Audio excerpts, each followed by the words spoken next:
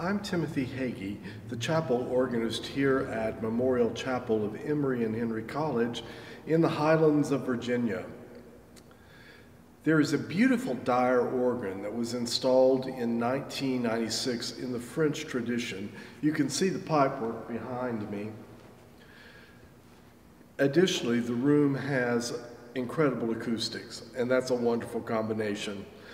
I thought a piece of Dupré would sound really nice, but before that, a few words from Ryan and from Henry. Hi, I'm Dr. Ryan Whittington. I teach organ, piano, and keyboard skills here at Emory and Henry.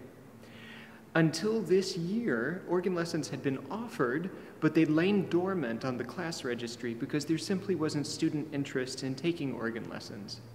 That was until last semester when I happened to be practicing in here in the chapel, and Henry came by, who you'll hear from, uh, started asking questions about the organ, and this semester he's the first organ student that we've had at Emory and Henry in quite some time. So it's my goal to revive awareness of the instrument on campus as well as interest among the students in taking organ lessons and learning how to play the king of instruments.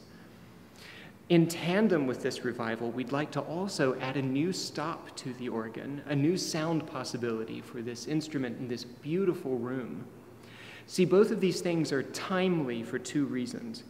One, right now in the immediate environment around Emory and Henry, there are several churches looking for organists.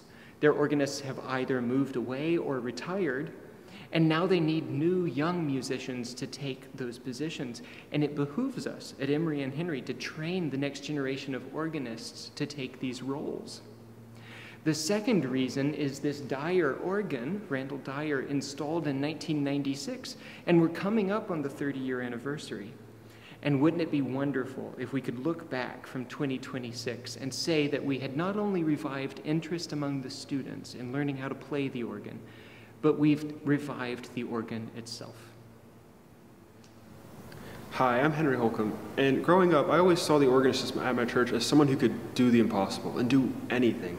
But it wasn't until I came to Emory and Henry College where I finally got the opportunity to go behind the keyboard myself and actually see how amazing it is to control such an incredible instrument.